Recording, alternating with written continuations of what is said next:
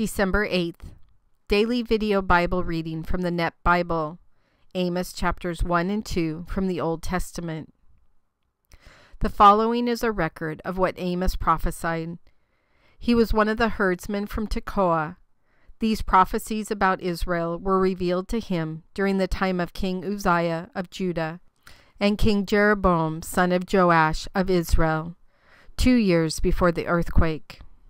Amos said, the Lord comes roaring out of Zion. From Jerusalem he comes bellowing. The shepherd's pastures wilt. The summit of Carmel withers. This is what the Lord says. Because Damascus has committed three crimes, make that four. I will not revoke my decrees of judgment. They rip through Gilead like threshing sledges with iron teeth. So I will set Hazael's house on fire, fire will consume Ben Hadad's fortresses. I will break the bar on the gate of Damascus. I will remove the ruler from Wicked Valley, the one who holds the royal scepter from Beth Eden. The people of Aram will be deported to Kir. The Lord has spoken. This is what the Lord says. Because Gaza has committed three crimes, make that four. I will not revoke my decree of judgment. They deported a whole community and sold them to Edom. So I will set Gaza's city wall on fire. Fire will consume her fortresses. I will remove the ruler from Ashdod, the one who holds the royal scepter from Ashkelon. I will strike Ekron with my hand. The rest of the Philistines will also die. The sovereign Lord has spoken. This is what the Lord says. Because Tyre has committed three crimes, make that four. I will not revoke my decree of judgment. They sold a whole community to Edom. They failed to observe a treaty of brotherhood. So I will set fire to Tyre's city wall. Fire will consume her fortresses. This is what the Lord says. Because Edom has committed three crimes, make that four. I will not revoke my decree of judgment. He chased his brother with a sword. He wiped out his allies. In his anger, he tore them apart without stopping to rest. In his fury, he relentlessly attacked them. So I will set Teman on fire. Fire will consume Bozrah's fortresses. This is what the Lord says. Because the Ammonites have committed three crimes, make that four. I will not revoke my decree of judgment. They ripped open Gilead's pregnant women so they could expand their territory. So I will set fire to Rabbah's city wall. Fire will consume her fortresses. War cries will be heard on the day of battle. A strong gale will blow on the day of the windstorm. Ammon's king will be deported. He and his officials will be carried off together. The Lord has spoken. This is what the Lord says because Moab has committed three crimes, make that four. I will not revoke my decree of judgment. They burn the bones of Edom's king into lime. So I will set Moab on fire, and it will consume Kerioth's fortresses. Moab will perish in the heat of battle, amid war cries and the blaring of the ram's horn. I will remove Moab's leader. I will kill all Moab's officials with him. The Lord has spoken. This is what the Lord says Because Judah has committed three covenant transgressions, make that four.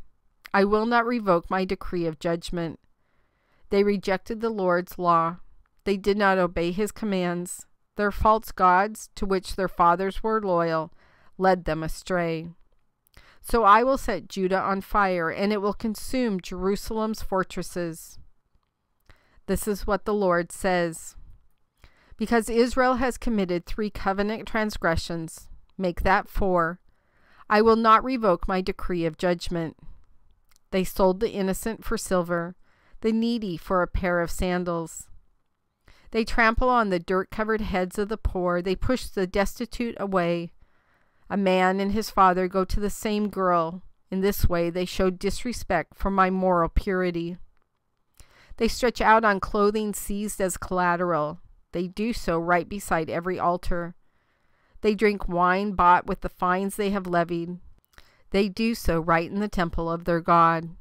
For Israel's sake, I destroyed the Amorites. They were as tall as cedars and as strong as oaks, but I destroyed the fruit on their branches and their roots in the ground.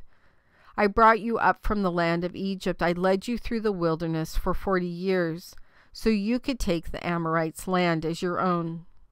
I made some of your sons prophets, and some of your young men Nazirites. Is this not true, you Israelites? The Lord is speaking. But you made the Nazirites drink wine. You commanded the prophets, Do not prophesy. Look, I will press you down, like a cart loaded down with grain presses down. Fast runners will find no place to hide. Strong men will have no strength left. Warriors will not be able to save their lives. Archers will not hold their ground. Fast runners will not save their lives, nor will those who ride horses. Brave hearted warriors will run away naked in that day. The Lord is speaking.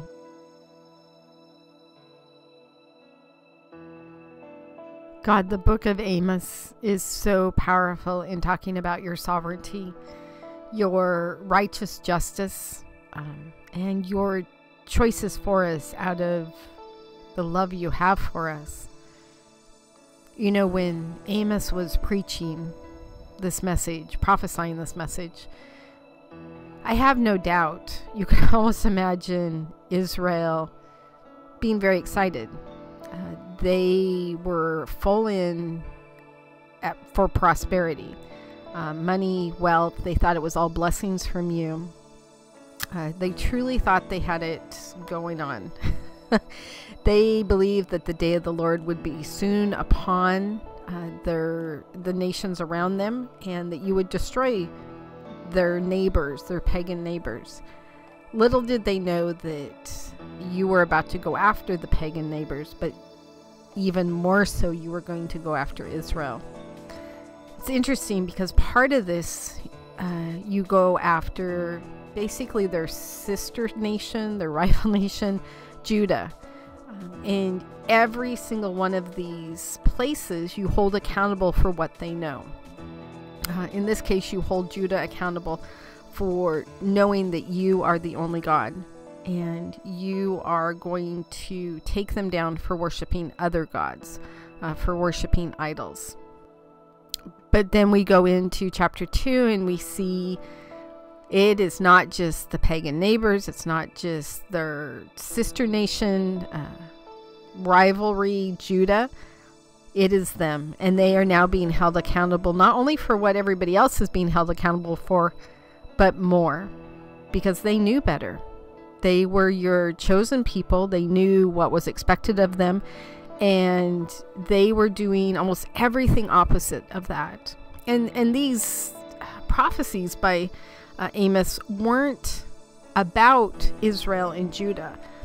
Because we know one of the statements was against Moab. And Moab wasn't taking issue with Israel or Judah, their sin was actually against Edom. So their sin had nothing to do technically with Israel or Judah and yet your sovereignty, your justice still went after Moab. So this wasn't exclusively about your people. And I think that's one of the overarching themes that we will definitely see as we continue to read Amos is your overarching power uh, across the nations, not just with Jews, not just with Gentile slash Christians, and not just with the unsaved. Your omnipotent power and your justice extends to every single person, every single nation, every single piece of this world, not just certain groups of people. Everyone is responsible for what they know from the Bible or what they know in their conscience. We know so much about the arrogance of your chosen people, Israel, and the type of nation that they turned into and their entire nation as they as they stood laughing at all these other people that you were coming down on what they didn't realize is they wouldn't be left standing an entire nation of Israel was about to be gone not to come back but to be completely gone and the people who did exist afterwards the remnant only existed because of the grace of you. You know, us today have so much. I'm not just talking about material possessions, but you have given us so much information, so much knowledge, so many talents. And I do realize that we will be held to a higher standard than people who haven't. We have so many opportunities to read your word, share your word, participate in with other people in your word. I fully realize that punishment has already been happening here on earth for those that you have given much to and we have done very little with. God, allow us to look at our resources today and be humbled by them, not arrogant by them.